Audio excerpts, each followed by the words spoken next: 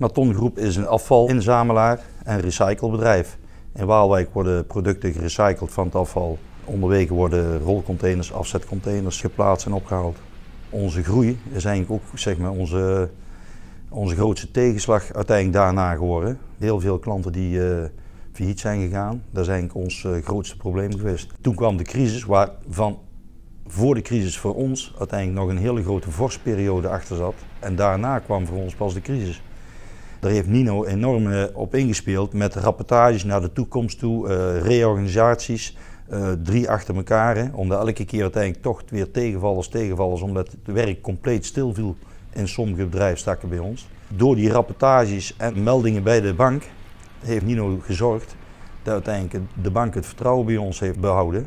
Het bedrijf onder controle door slecht weer heeft geholpen. Als het slecht met je gaat, staat hij als een blok achter je uh, in je bedrijf en uh, s'avonds of in de weekenden, het maakt niet uit. Hij zorgde altijd ervoor dat de rapportages op tijd waren voor de bank. Als je iets vindt dat eigenlijk niet strookt, dan wilt hij dat uiteindelijk ook echt uitgezocht hebben.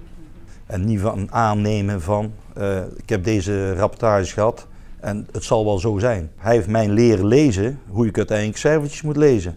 En tot in detail van project. Ik moet zeggen, die kennis die had ik van tevoren niet. En we kunnen wel eens botsen.